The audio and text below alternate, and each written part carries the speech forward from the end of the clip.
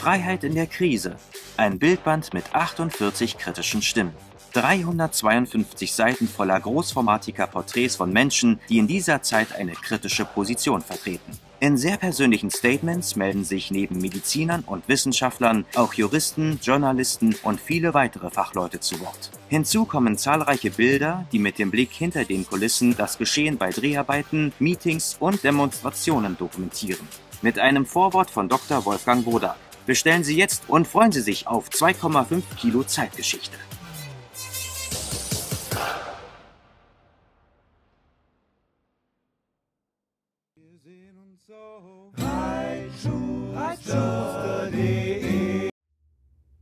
Es ist tatsächlich wahr. Bundesgesundheitsminister Karl Lauterbach ist über Crystal Mess gestolpert.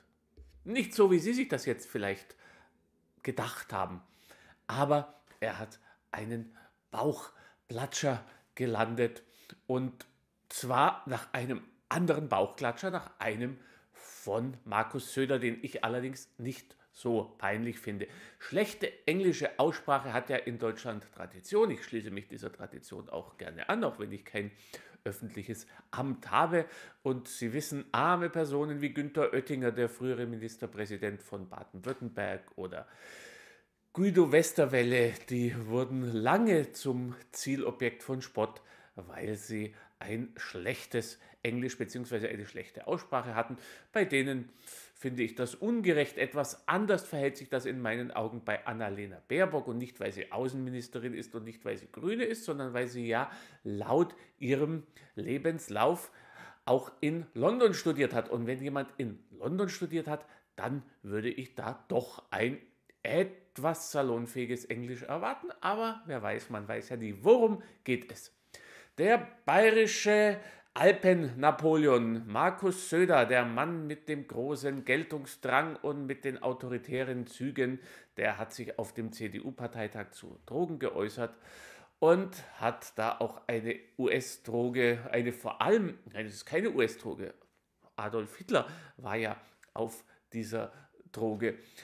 Zumindest nach dem, was ich weiß, man müsste es jetzt nochmal googeln, beziehungsweise es war eine artverwandte Droge. Und er hat sich zu Crystal Mess geäußert. Voilà. Die Berliner Grünen gelten ja als progressivste Gruppe in der doch mittlerweile auch etwas altspießigen Grünen Partei. Sagen, ja, wenn Cannabis reicht ja nicht, sondern da muss jetzt äh, Kokain her und Crystal Meth.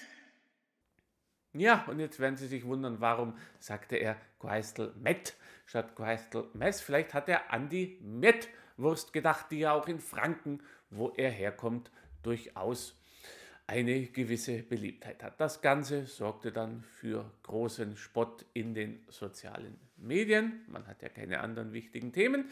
Dass er bei Corona die Menschen einsperren wollte, sorgte nicht für Spott. Dass er Crystal Meth falsch ausspricht, das sorgt für Spott. Und jetzt raten Sie mal, wer einer der großen Spötter war. Ich denke, Sie erahnen es. Und zwar der besagte Karl Lauterbach. Und ich lese Ihnen jetzt mal vor, was er auf Twitter schrieb. Trotz dieser vernichtenden Kritik von Markus Söder, die Legalisierung von Cannabis fördere den Crystal Mess Konsum, zögern wir nicht. Zumindest Vegetarier bleiben ungefährdet. Ja, also der Humor ist meiner nicht, eher ein Sparwitz, was ich noch mal ein bisschen kitzeln muss, damit der auch wirkt. Was aber das Peinliche ist, der Genosse Lauterbach schreibt Crystal Mess falsch, weil man es ohne H schreibt und mit C schreibt. Das wäre jetzt im Normalfall absolut pingelig, ja, kann mir auch passieren. Aber wenn ich schon anderen verspotte wegen der falschen Aussprache in Englisch, dann sollte ich das Wort, wegen dem ich den anderen verspotte, wegen seiner Aussprache zumindest richtig schreiben. In meinen Augen ein wunderschöner Bauchklatscher und ja, und wobei die Frage ist natürlich, warum hat ausgerechnet Crystal Mess den Gesundheitsminister so getriggert, diese Aussage, dass er darauf reagiert? Fragen über Fragen. Nein, eine Antwort werde ich hier jetzt nicht geben. Die verkneife ich mir. Ja, das noch, wovor Söder wandte, eine Legalisierung von Crystal Mess. Ja, nach dem, was Insider sagen, könnte es da im Bundestag und auch in gewissen Ministerien durchaus Sympathisanten für so einen Schritt geben. Mehr sage ich dazu nicht. Alles Gute, wieder reinschauen, abonnieren, Glocke drücken. Danke, ciao.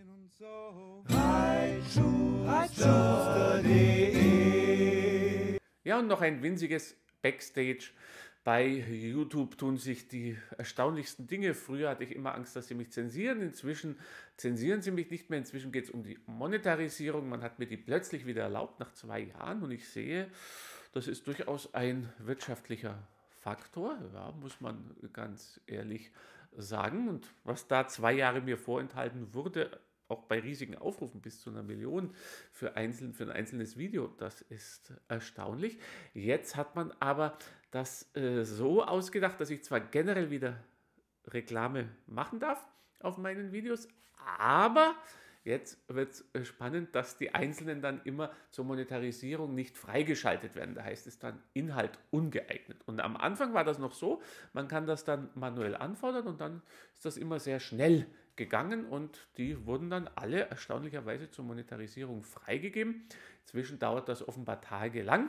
Ich stehe dann vor der Wahl, entweder nicht monetarisieren oder ewig warten, bis es nicht mehr aktuell ist wetten, dass das auch erstmal nicht monetarisiert wird. Ist mir aber egal. Mir geht es darum, dass ich Ihnen, euch das schnell hier vorspiele und äh, vielleicht tun sich ja bei YouTube noch weitere Wunder, während man bei Facebook ständig gesperrt wird, jetzt auch wieder. Ich habe da jetzt echt keine Lust mehr. Also ich überlege mir da jetzt wirklich was. Also ich frage mich, kann ich da so weitermachen, nachdem die wirklich willkürlich, widerrechtlich äh, einfach einen da ständig mundtot machen. Aber das ist ein anderes Thema. Das Fass machen wir jetzt zu später Stunde auch nicht mehr auf. Und nochmal die Entschuldigung, beim vorletzten Video war das so zu diesem äh, Polizei. Psychoterror äh, gegen mich, wenn ich zu später Stunde aufnehme, dann sieht man mir das manchmal an. Aber was soll man machen? Schlafmangel, 18 Stunden Tag. Ja, aber ja, muss mal wieder richtig ausschlafen. Apropos, die Presseanfrage an die Augsburger Polizei seit neun Tagen keinerlei Antwort. Das ist phänomenal, auch ein Verstoß gegen das bayerische Pressegesetz. Aber Gesetz, illegal, legal, na, was soll's. Spielt heute offenbar alles keine Rolle mehr. Jetzt höre ich aber auf, bevor ihr mich abschaltet. Alles Gute, danke, gute Nacht. Mein Freund Tilman Kuban, Bundesvorsitzender, sagt mir immer, Mensch, Markus, Joints wären doch eine feine Sache, wird manche Sitzung vom CDU-Vorstand ein bisschen entspannter, mag sein. Ich will nur eines sagen, ich bin gegen die Freigabe von Drogen, liebe Freunde. Ich bin dagegen. Ich bin dagegen.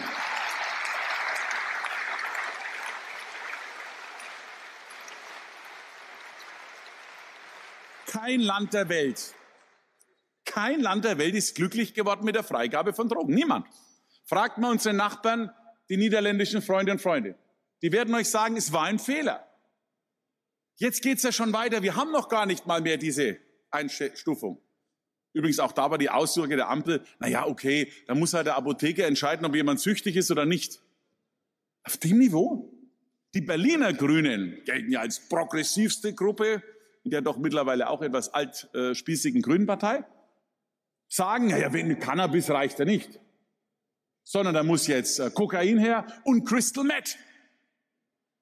Wer ein Gesicht eines Menschen gesehen hat, der unter Crystal Meth leidet, kann nur eines sagen. Ich bin als Jugendlicher, habe ich dieses Buch Christiane F. für Kinder vom Bahnhofszoo gelesen.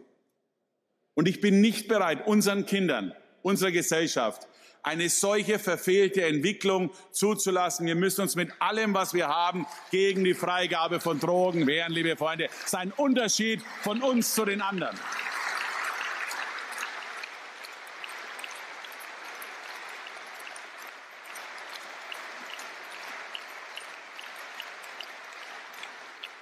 Drittens.